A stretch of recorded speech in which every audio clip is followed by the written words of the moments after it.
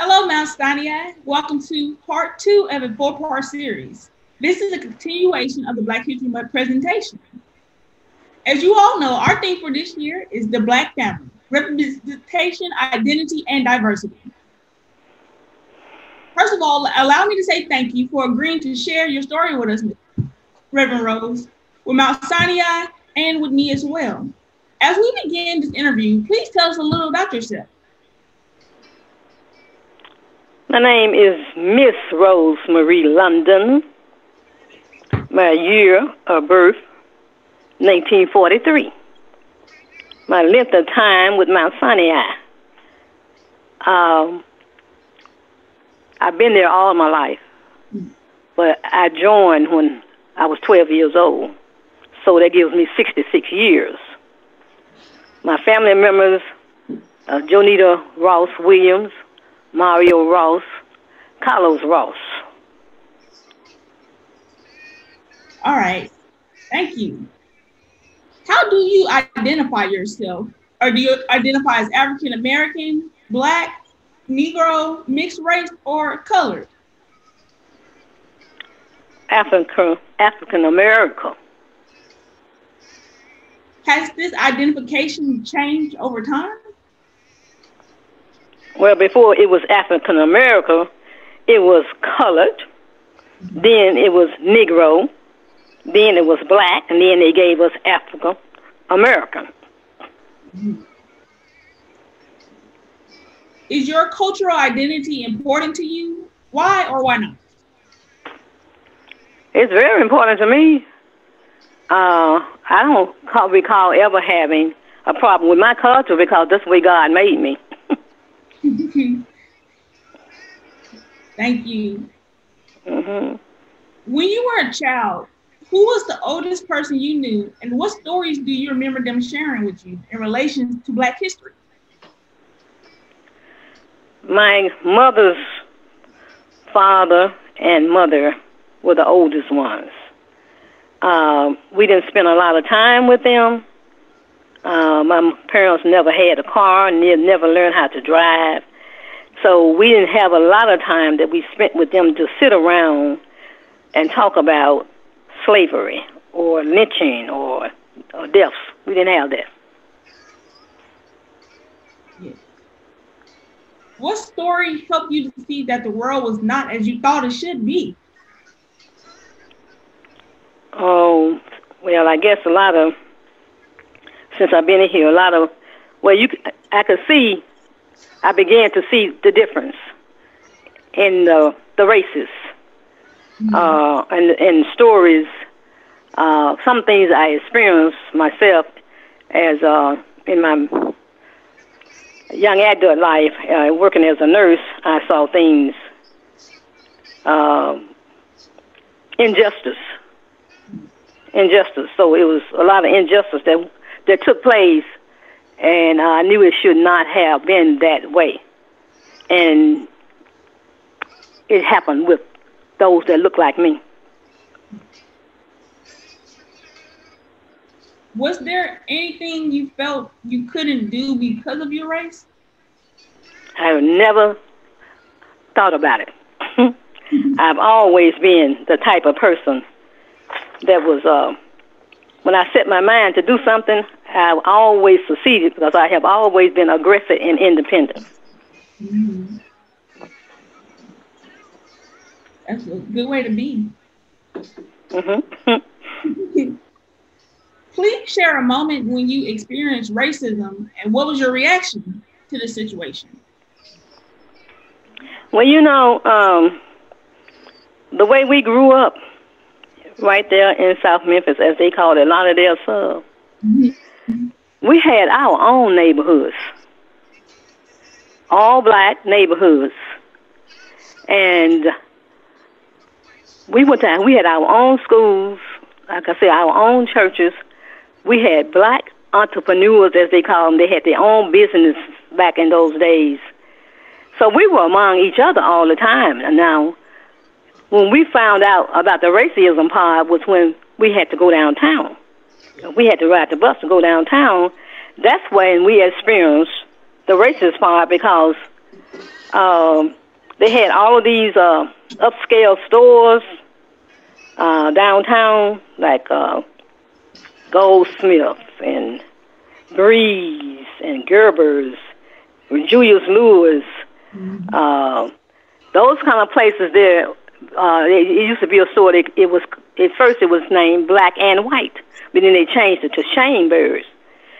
Now, when we went to shop, we could not shop on the upper floors. We had to shop in the basement. We had restaurants downtown that we couldn't go in the front door. If we wanted something out of the restaurant, we had to go around the side, down the alley, to the to the side door. Mhm. Mhm. Yes, and uh, we had also we had our own movie theaters. Uh, we had the New Daisy, which was down on Beale Street, Old Daisy, and we had the Ace Theater, which was right here on Mississippi and Walker. So when they changed it where we could uh, go to other movie theaters like the Malco Theater, which was down there on Main Street where the Orpheum is now, we had to go up the stairways on the side to go into the movie. We couldn't go in the front door. So they had an area for us upstairs in the balcony. And how did this, how did all of that make you feel? Well, you know, I didn't even give it a whole lot of thought at that time. Mm-hmm. I didn't give it a lot of thought because, like I say, uh, we just took it as it was. We attended these things, like I said, in our neighborhoods. We had everything we needed in our neighborhoods at that time. So um, we we would just uh, we just go to what they had given us. Yes. Mhm. And see, people didn't talk a whole lot back then. Mm-hmm. They didn't talk a lot about no racism. Um, why do you feel like they didn't talk about racism a lot? I guess they was um, a lot of them kept things. I guess they just kept things to themselves because, uh, you know, like my grandmother now, she was she was not a slave, but her family and some of her descendants were slaves. Mm-hmm. But they just didn't talk about it. It just didn't ever come up uh, when they was around us or we was around them. And mm-hmm. even people in the neighborhood, we like I said, we lived in the village. And but they just didn't talk about nothing like that. So we I didn't experience it. We just didn't experience that mm-hmm. until later on when we was in school and we started hearing all about the slavery. Um, how did those events affect your life? Like the racism, and I know you said your family never really talked about it, but um, maybe in the past or even in the present, how did it affect your life or your family life today or in the past? And does it still affect you till this day? Mm, like I say, it didn't. Um, I just knew that there was a difference as I got mm-hmm. older. I just knew it was a difference, but at the same time, um, I didn't let it affect me to the point where I'm trying to say I didn't let it affect me to the point where my father used to teach us. Uh, my father taught us a lot of pride back in the day, back then, mm-hmm. and so I felt like I could do. It was nothing like I, I that I couldn't do, no matter with, with my skin color. Yeah. Because of what they had done. That's the best I can describe it to you. Do you feel attitudes have changed since segregation? Some degree it has, and some it hasn't. It's still there. you it's still there. Elaborating on that? Uh, it's more like back then. It's more like they um, they hid behind, you know, hoodies, uh, as I call them, white hoodies and capes and, and all that. They hid behind that back then, but now they do it openly. They don't hide behind nothing, and they don't care who knows who they are, because a lot of them are officials. I put it like that, but they don't care. They don't care anymore. So there's not a, there's not there has not been a great change in attitudes toward we black people. Yes. It's not a change. It's not. It's, you got you got some that's in it different generations that feel different, but then you got so many of them that that stuff is embedded in them, and they may laugh and and talk with you, and but at the same time, if something takes place, it's gonna come out. Yes. Because what's done in the dark always comes to the light. There you go. Mhm.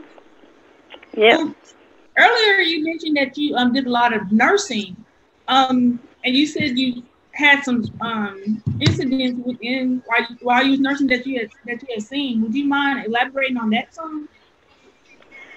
Well, when I speak of that, I mean things uh, is patients that came into the system. Mm-hmm. Um, there was a lot of injustice, like uh, abuse, uh, police brutality. Mm-hmm. Um, then you had then the other I had doctors uh, that would come to see their patients, making rounds. I had to make rounds with them, and older women or men. They wouldn't address them by their names. They would address them as girls or boys.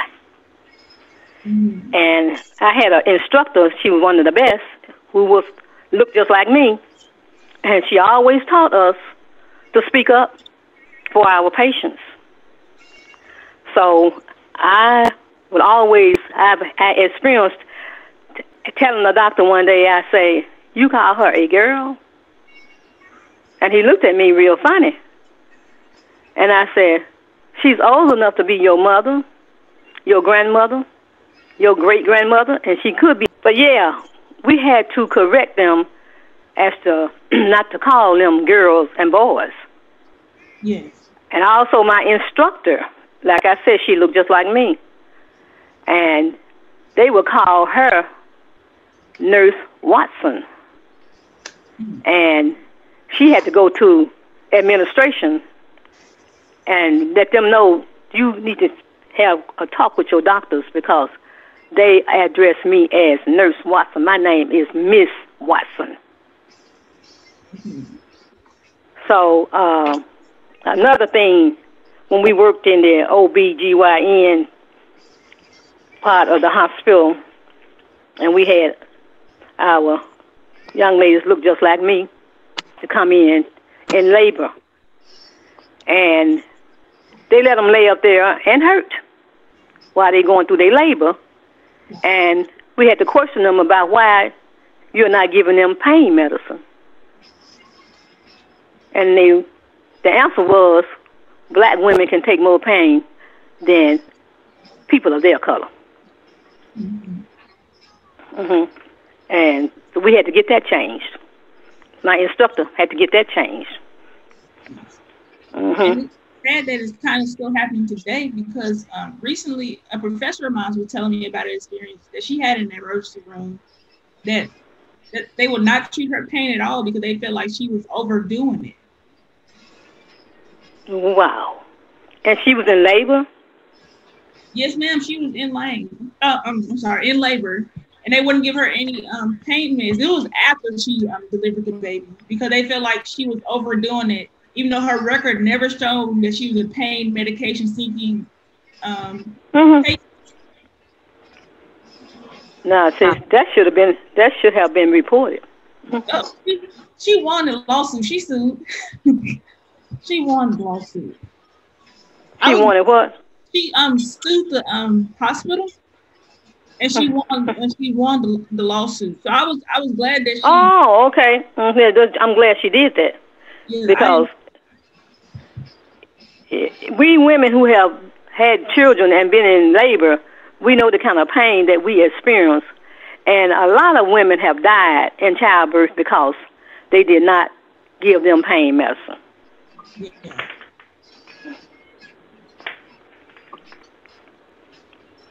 What are your thoughts on mental slavery? My thoughts on mental slavery? Yes. Okay.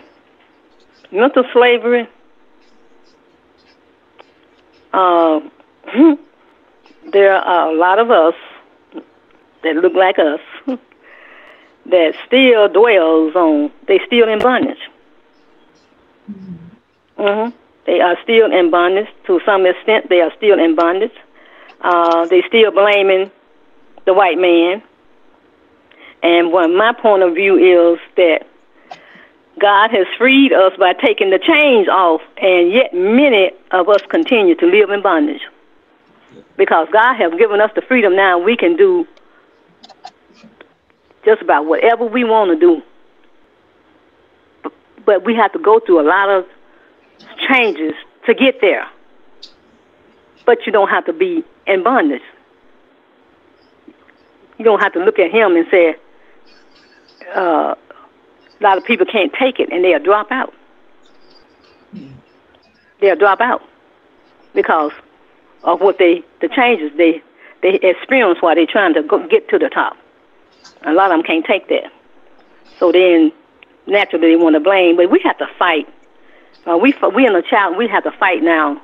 Uh, we have we meet a lot of challenges, yes. a great deal of them, and it's going to always be that way. Long as there's a world, there's a, and we are in this world. No matter how far God has brought us from, we gonna still meet those challenges. But with the help of God, we can make it through it. Mm-hmm. How do you think people are? Um, my apologies. What would you like to see for growth within the Black family with representation, identity, and diversity? Um, the growth in Black families. It has been such a a big change from our generations and the generations that are here now. Um,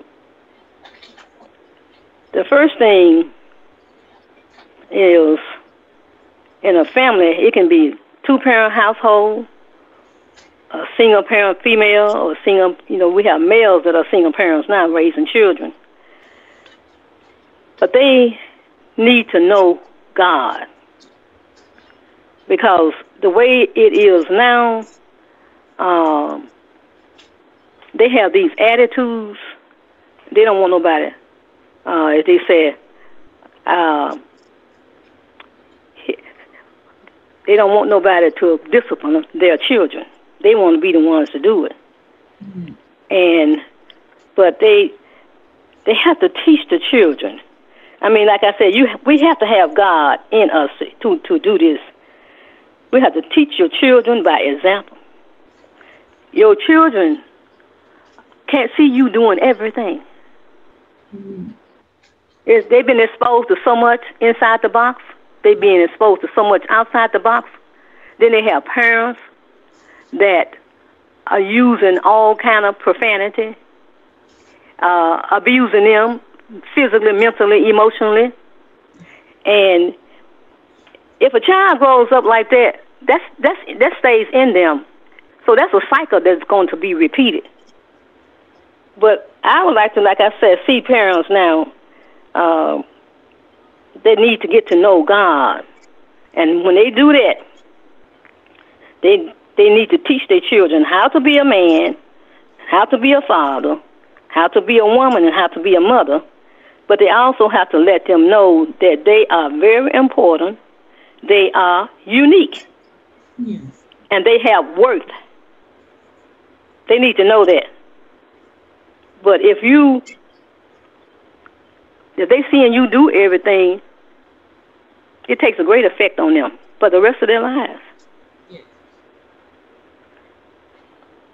So that's what we, that's what need to be done. Identity. It says I heard somebody uh, some years a long time ago that said uh, uh, especially when it came to a man, they said by the time a man turned 40 years old, if he don't know who he is, uh, uh, or what it is that he really wants to do, he ain't gonna never amount to anything. but that's not always that easy to do. But a lot of them it has happened because a lot of them wasted time. Then another thing when it comes to the family, um, a lot of our men wasn't taught how to be fathers. They had fathers in the household, uh, and they was not taught how to become a man and, and to be a father. Mm-hmm. They just thought they, they just have a family, but it's it's more to it than just having a family. I have a friend that spoke that to me once, and he said the way he learned about that, he had to go see a psychiatrist.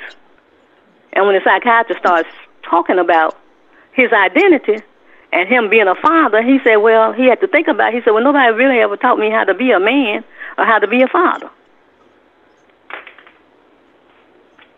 So our children need to know uh, because a lot of things, a lot of time our children, even children that that's in households have been taught how to become a man or how to become a female or how to become a mother or, or become a, a father. But then the way it's going now, they meet all these challenges all the time and they come into groups or be around people or get sometimes you hear them say, Well, I'm just trying to fit in. Mm. But we have to teach them you don't have to fit in. You have to be who you are. But see, they want to fit in because they got so many bullies now. They bully them. So in, to keep them from bullying them, they rather try to fit in because they know if they get bullied, they're going to get beat. Because these bullies will beat them. Because they won't join in with them. Yeah. So we have to let them know how important they are and they don't have to try to fit in. They just, they, you know, um, and diversity. Diversity. Um, diversity come from within. mm-hmm. It comes um, from within. Elaborate? Huh? Can you elaborate a bit more on that, please? Like, what do you mean by diversity?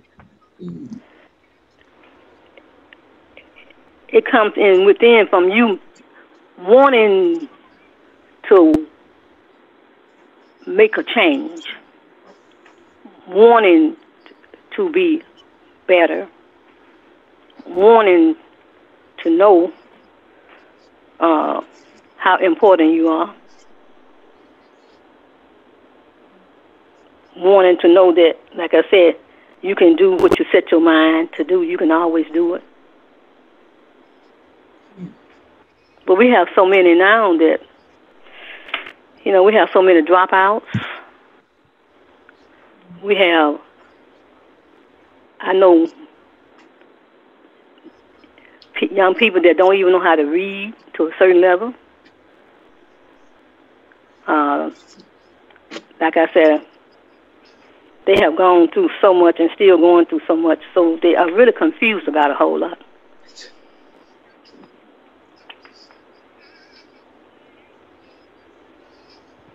Thank you. Is there anything that you would um, like to say? Because we are um, at the end of the interview. Is there anything that's on your mind or your heart that you would just like to say that you like people to know? Um. Um, I um, just want people to learn how to accept who they are. Learn to accept who you are.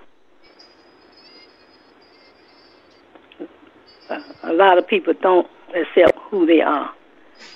But I had to learn myself uh, that God made me the way I am.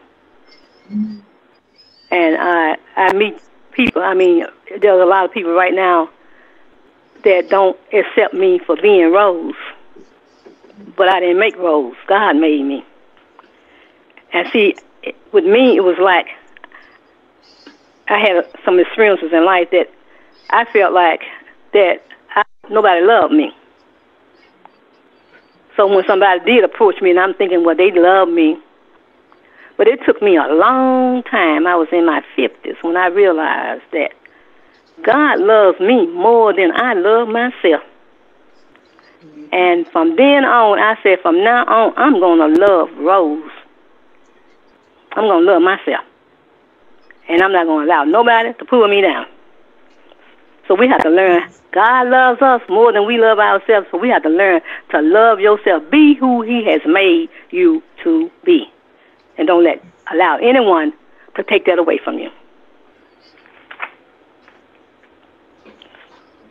Once again, thank you for very, very much for sharing a little bit about you and your thoughts on the Black family, their representation, identity, and diversity. Thank you. Thank you, and I hope I help you all in some shape, form, or fashion. you have. It was it was uh, very nice to hear your perspective on these questions and the fact that you was actually able to elaborate and share. It was really it was really breathtaking, and I'm in awe. But I love hearing well, thank you. elders. you too.